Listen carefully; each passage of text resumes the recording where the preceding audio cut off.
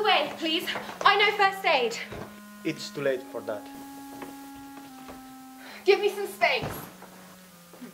Recently, by the look of it. Still fresh. Still warm? I thought as much. It's horrible. Can't somebody cover it up? Hey, don't do that. The forensic investigators would want to preserve the evidence, you know. They have science, you know? They won't let a little thing like a jacket get in their way. And that's my human hand. Grim business, grim business. Well, I need some breakfast. Right, well, don't leave the scene of the crime, please. Well, I'm meeting a friend for some tea and toast. Excuse me, madam, but I am an officer of the law, and you may consider this house in lockdown until clues have been gathered and the culprit apprehended. In fact, I'd rather you didn't leave the scene of the crime at all. That was a very loud door. But it's breakfast time and You're right. That was a very loud door. I wonder if... Loud. Loud.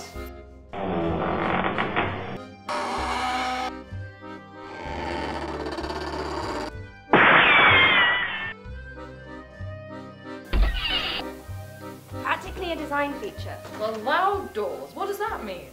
I think I get it. The corpse was fresh as a daisy when we first found it. You know what that means? If the killer had left the staircase since Yes. then. We would have heard them. Ladies and... Tristan Hall, internet salesman. Ladies and Tristan. That means the murderer has not left the staircase. One of us is the killer.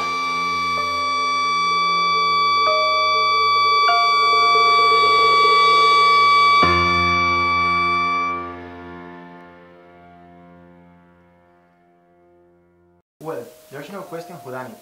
Surely you will know Madeline Pump. You're Madeline Pump, that murderess. The very same. Heiress, socialite, noted serial killer.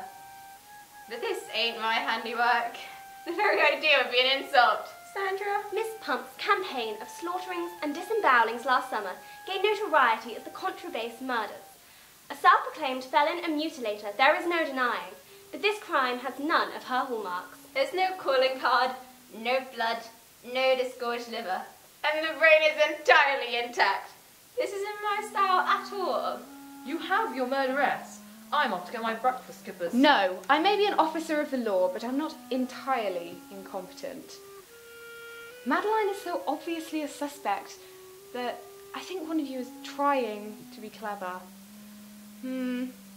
You recognise her as a celebrity murderer and assassin, and you think that you can get away with a murder, leaving her as the scapegoat.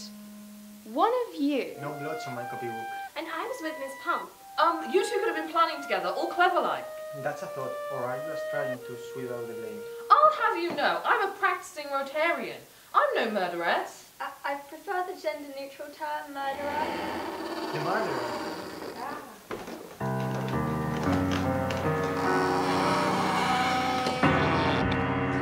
You?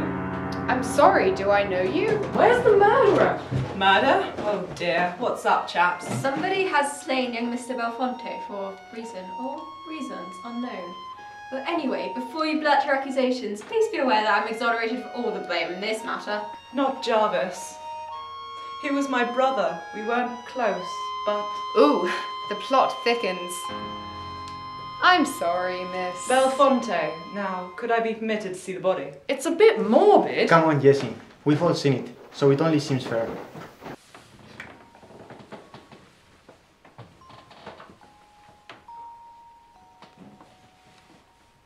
Here, Miss Belfonte is trying to rob the body. I do believe you're correct, Inspector. I'm no true Belfonte. They're not here by any case. The Belfonte jewels have already been looted by the looks of things. By you! What? It takes a jewel thief to know one, a lover of these shiny pretties, the glint of gold, the, sh- the sparkle of diamonds, even pewter's allure. In that pocket, I think.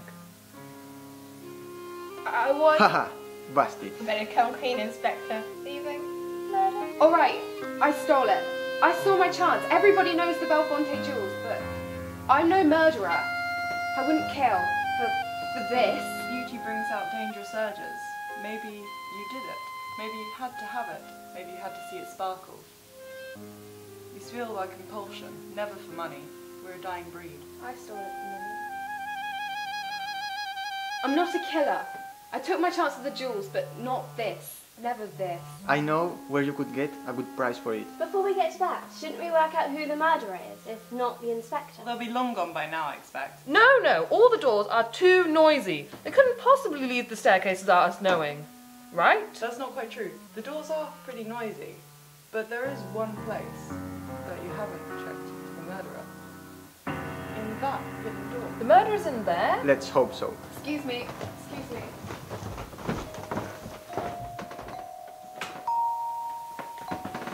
Why did you do it? Why did you do it? Love.